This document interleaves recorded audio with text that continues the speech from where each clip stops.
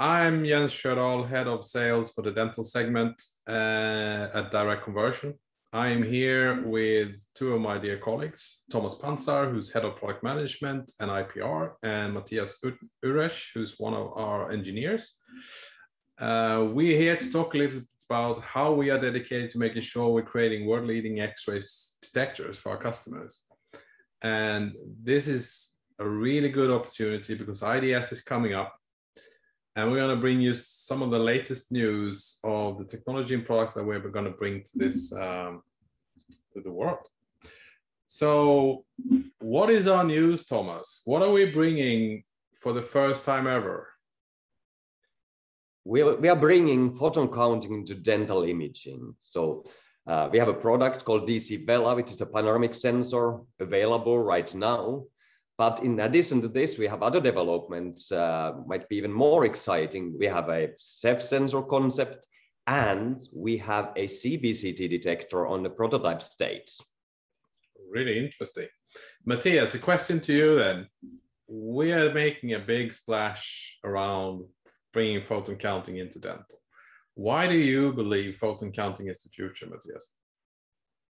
I think uh, photon counting detectors are the future because um, um, what we can do is we can actually measure um, information on each detected X-ray photon.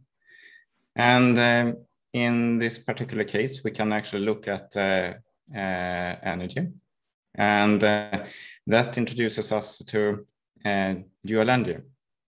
And um, so we are able to uh, look at each photon and uh, look um, if X-ray photon has a higher or a low energy uh, information.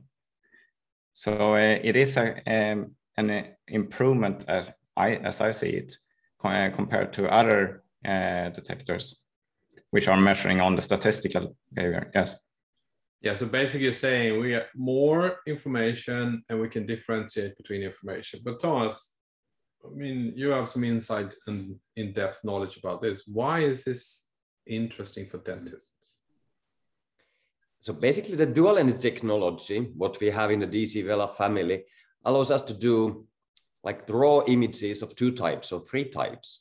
We get a low energy image, we have a high energy image, and we have obviously the total energy image, which is uh, comparable to a standard panoramic. The magic comes there that once this is combined with sophisticated mathematics and algorithms, you can actually convert these energy domain images or spectral images into tissue images. So what we can do, we can generate images that only has the bone content or only has the soft tissue content. So in terms of bone content, what you see, what is the improvement is that there's less shadows from the soft tissue. But on the soft tissue side, it's something I don't believe anyone has seen before. So a soft tissue image of the jaw, of the, the gum, of the uh, all the organs there, that offers uh, uncharted territory. So basically, we're bringing technology into the dental space, which could mean that we have additional applications, uh, improved um, uh, imaging, and one of the things that you just mentioned there is the differentiating between materials. Does this have anything in an improvement that we can do uh, with artifacts, for example, compared to other technologies? Yeah. Um, uh, besides that, we can uh, look at different tissues. Uh, one can uh, also um, look into uh, in this case, uh, foreign materials, uh, so um, uh, fillings, um, and um, maybe other things that can disturb the images. So um, it can be a, an improvement uh, to uh, to the user, um, to the dentist, uh, to more clarify to see what the actual information is and I think that's super interesting because in 2019 in IDS we did actually a uh, we did a poll and then uh, sort of deep interviews with a number of stakeholders within the dentistry, uh, anything from dentists to OEM R&D people who was super excited.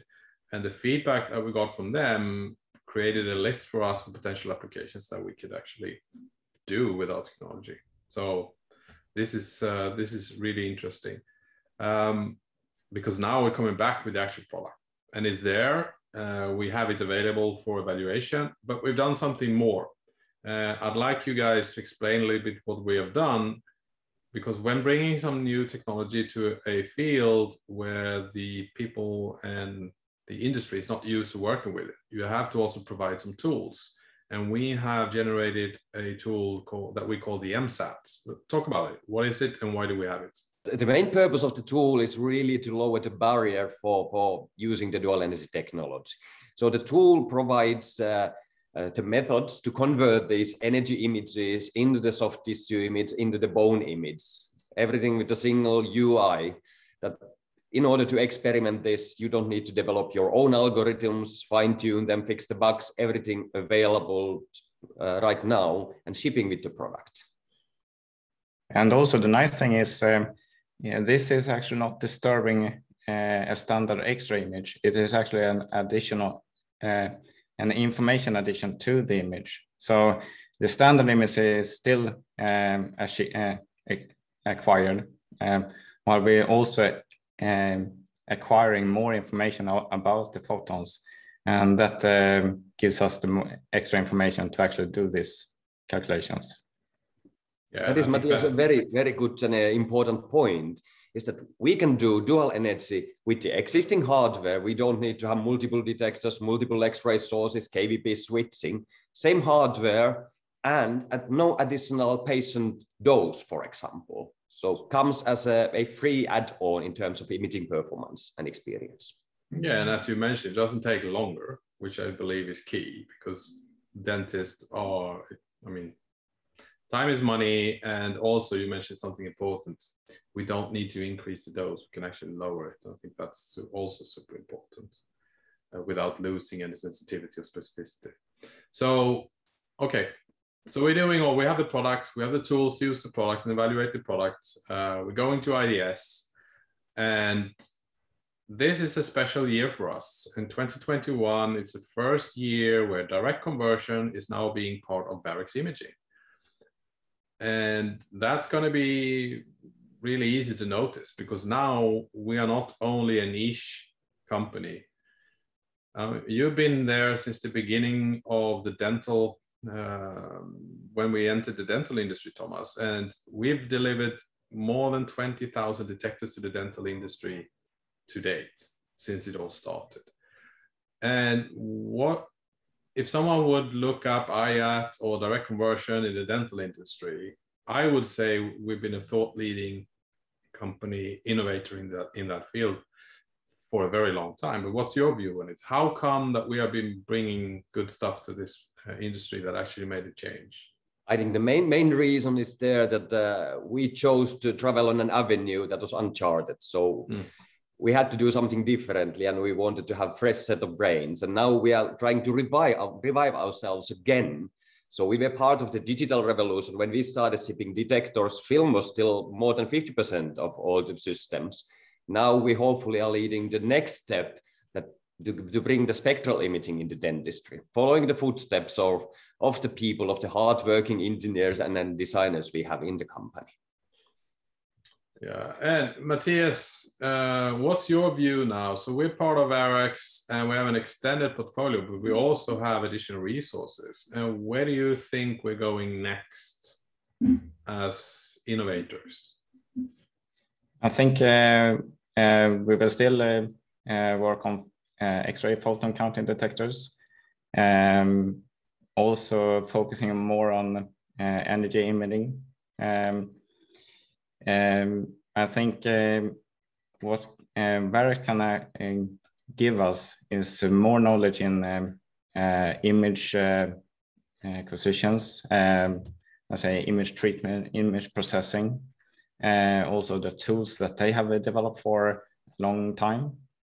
And so I think uh, it is actually a good uh, opportunity here. Yeah, and I think it's also important to notice that photon counting is is used in various industries. I mean, we do anything from uh, non-destructive testing in food inspection, electronics inspection, but we're also delivering photon counting products to the medical field. And they have more or less started this journey into bringing photon counting into their life. Uh, and now it's a dental industry that we're bringing it into. Do you see any, from your perspective, do you see any challenges in, uh, in this field? Yes, one, one big challenge is that um, since the digital revolution has been going on for so long, uh, the competition has like stagnated. Everyone is developing very similar products, slightly better, slightly less expensive, but uh, not many people have had the courage to do something new.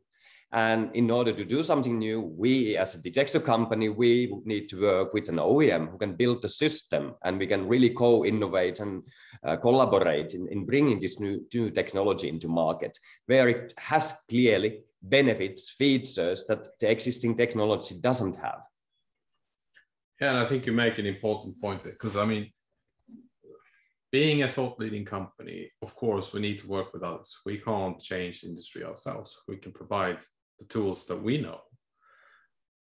But taking steps in a direction where no one else is going, I mean, that, that takes courage. And that's also why we had talented people like you guys in our company to bring those innovations to the market. So thanks for being here with me. And uh, we look, look, really look forward to IDS and talking to our customers and finding co-innovators that can actually change the industry.